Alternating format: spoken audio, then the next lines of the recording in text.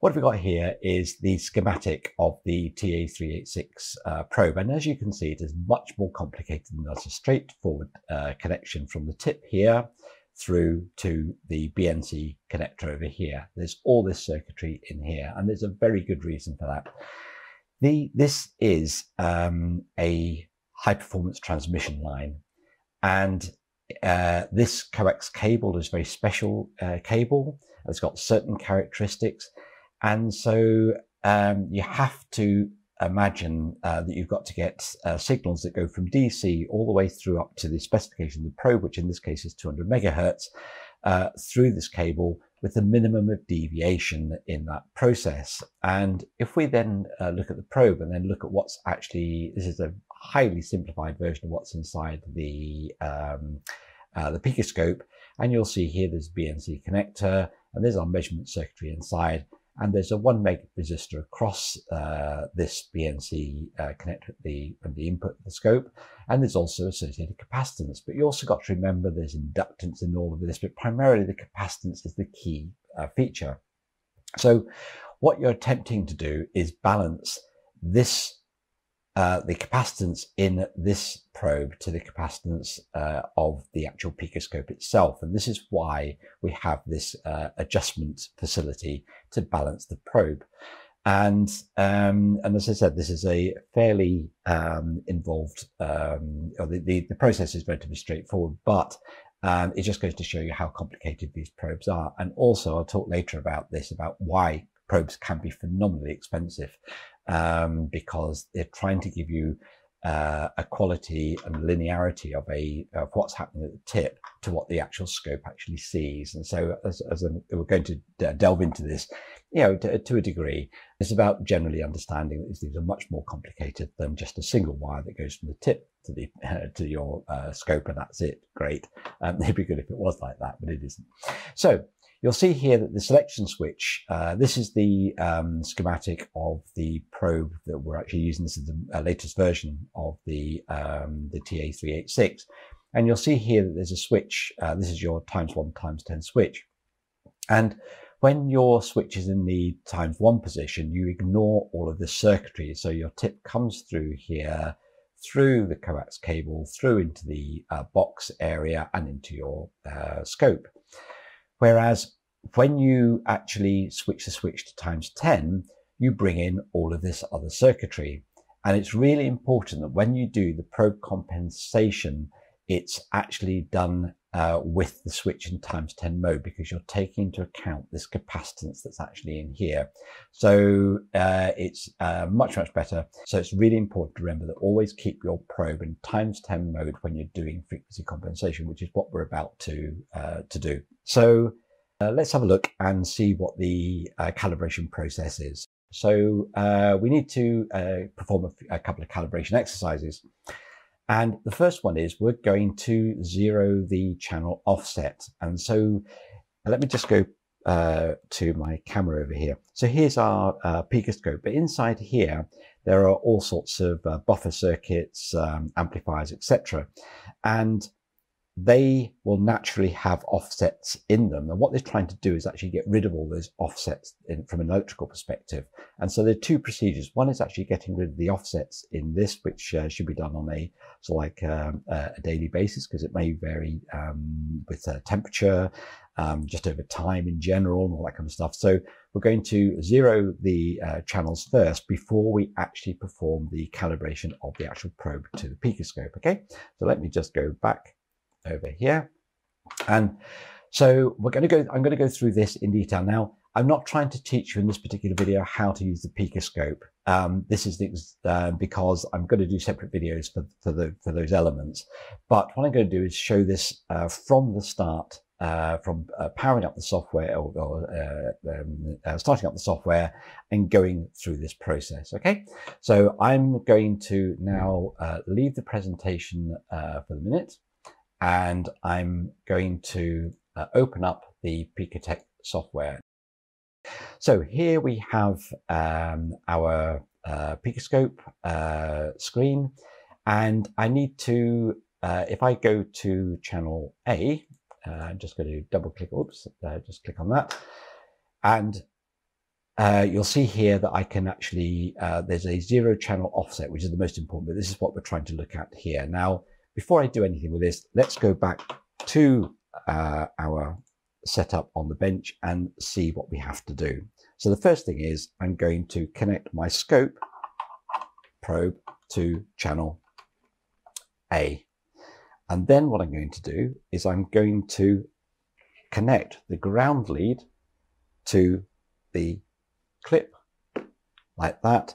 And I'm going to, in this case, make sure my probe is set to times one. So I've switched the switch to times one. And what I'm now going to do is null the electronic circuits inside the picoscope. So let's go back to uh, our picoscope. And so I'm not setting up anything else in this at all. All I'm interested in is zeroing the channel. So I'm going to, so I've opened up my channel A and I'm going to zero that channel. And you'll see it says short circuit the input to A, which is exactly what I've done. Um, and then we go continue. And you'll hear a few clicking noises in the background as it's performing this task. Okay, and that's all done. Now you would do that on all your channels that you're using. And it's good to do this whenever you power up your Picoscope um, because uh, things do drift in time. Um, and that's in a long time, this is not a short period of time, but also temperature might make a bit of a difference as well. So we've uh, zeroed the channel. So let's go back to our presentation and uh, let's just see. So we clip the probe uh, tip to the ground lead clip and we run the zero channel set for the given channel being used. So we've just performed that task. Now, the next thing we're going to do in our calibration process is we're going to do the frequency compensation for times 10 only. And so we're going to go through this, but we're going to create a waveform, uh, one kilohertz square wave, um, uh, which is uh, two volts peak to peak. And that's how we're going to adjust our probe. So let's have a look at how we do that. So I'm going to go back to my Picoscope uh, uh, software here. And Let's first of all, this is what we're dealing with channel A. have uh, colored A as red, uh, which is a bit like our marker sleeves that we use. So this is the, uh, the A channel. And let's go back to our uh, scope. And the first thing I'm going to do is connect a signal generator lead to my AWG output here.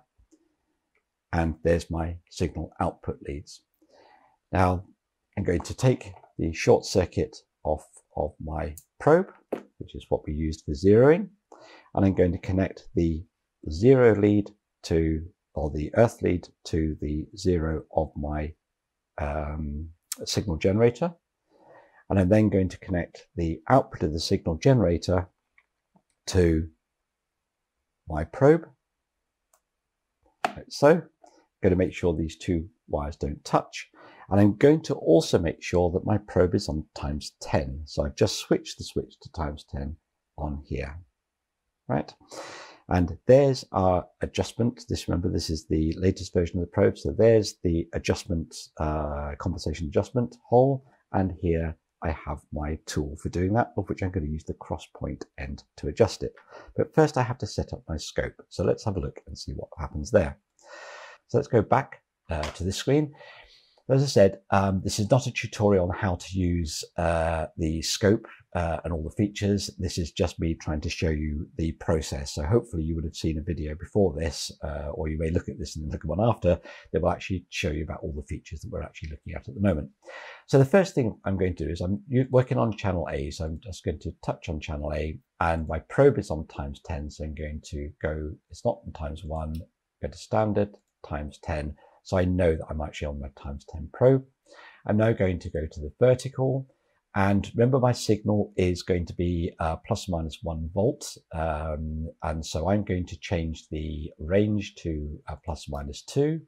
Uh, don't worry about what you see on the screen at the moment.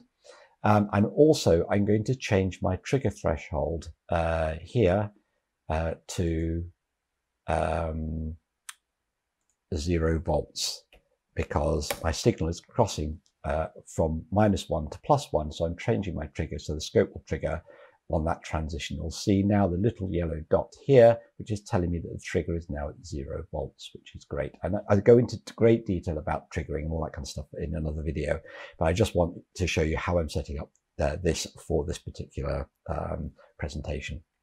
So What's next? Uh, let's set up our signal generator. So I'm going to go to the generator tab over here. I'm going to change the type to a square wave. I'm going to have one kilohertz, which is its default, and I'm going to put in one volt. Now this is one volt peak, and so this gives us one uh, two volts peak to peak. Okay, and that hopefully uh, should be okay. And I'm now going to switch the generator on, and there we go. There's our signal. Now you'll notice that there's a huge slope on this square wave. This is meant to be a square wave. And this is what the probe compensation is adjusting for, is to get this, the probe and the picoscope matched together so we get a really sharp waveform here. Now, if I'm going to look at this in detail, I'm going to change my time base, uh, time base slightly to improve the quality of what I see here. So I'm actually going to open this out so I can actually just get one cycle of uh, my waveform here because I'm really interested in how to sharpen this up so we get a nice square wave. But what I'm going to do now is I'm going to show you what I'm doing and then we're going to look at this screen. So let me just, uh, now that I've set this up in the right format, I'm now going to go back here and I'm going to take my compensation tool and I'm going to show you what I'm doing. So what going to do is adjust this. I'm going to put my uh, screwdriver in there and I'm going to be turning this screw in here, or which is the adjustment capacitor in here. Right, so I'm actually adjusting this and you'll notice, let me just go on to here. So you'll see here, at the moment we've got this really uh, curved um, structure to our waveform. And as I turn the capacitor, you will see I can now straighten this up. And if I go too far, it actually goes the other way. So we actually now end up with this going um, up, so it's like um, uh, rather than uh, down, which is like this. So we can adjust this until we get what we consider to be a really good square waveform. Now, this adjustment doesn't affect the bandwidth of your oscilloscope probe. So in a, in the later part of the experiment, we will be looking at the bandwidth of the probe um, and you may find it's not exactly as specified, but it's because of the setting of this capacitor. So what you want to try and do is get this as accurate as possible to be an absolute square wave, okay? And that's a bit, you know, that's, yeah, uh, up to you to decide what you think is the, the best form of, of uh, square wave, okay? So that looks pretty good to me. So I'm going to leave it like that. And that uh, is the um, adjustment uh, complete for this probe um, for this channel. Okay. Now, if you're using two channels, then you do the same thing again on your uh, other channel. And so you should do this for uh, all probes um, and uh, all channels uh, when you're setting up your oscilloscope. Now, this has now been set there may be subtle variations between the channels. So uh, really it's arguable that you actually maybe do this um, uh, because you might not uh, use the same uh, probe on the same channel. So there's an argument to say that you actually do this every time. However, in general, it depends what you're trying to do. If you're trying to do um, very precise measurement uh, of electronics, then yes, it's worth doing that. But if it's just general, then maybe you just do this every now and again um, uh, to actually tune this because you may find that um, it, it, it, it's not necessary to get that absolute fine adjustment, okay? And uh, I'm now going to switch the signal generator off because we're not going to use it anymore. So I'm going to switch that uh, off and that's now disappeared. And let's go back to our presentation, okay? And so that's our whole calibration process done. Now let's move on to the next slide. And now we're going to investigate limitations of probes through practical experimentation.